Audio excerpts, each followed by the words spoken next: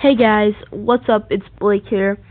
And just in advance, before um, anyone watches this video any further, because um, I don't want anyone getting mad or hating or anything, yes, I am on an Android device and I am showing you an iOS 7 screen recorder that is to come and is in development and should be out pretty soon.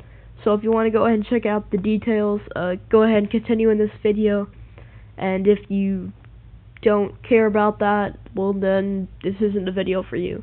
So here's what you do.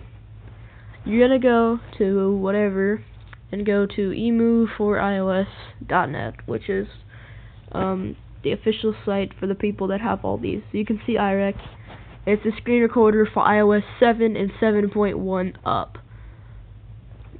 So go ahead and you can type the Twitter um, link, and it'll, okay, sorry about that, Chrome just crashed, okay,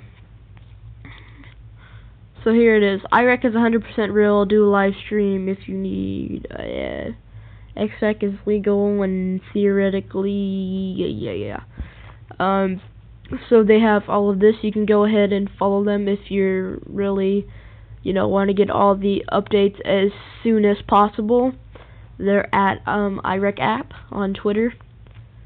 Uh, so yeah, you guys can go ahead and check them out. And I know I made a video um, a while back uh, showing you guys this, um, but it has definitely um, been updated now, and it will be coming out very soon in the future.